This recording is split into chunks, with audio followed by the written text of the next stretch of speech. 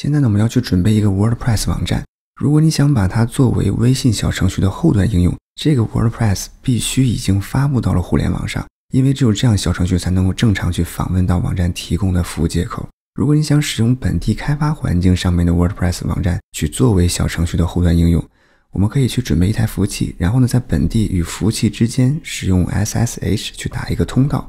在 WordPress 开发环境这个课程里面，我们介绍了在本地搭建一个 WordPress 网站运行环境的方法。这里我们可以使用在这个课程里面搭建的 WordPress 网站来作为小程序的后端应用。另外，我已经配置好了一台自己的服务器，可以去打一个通道。我们在在互联网访问本地开发环境这个课程里面详细的介绍了这种方法。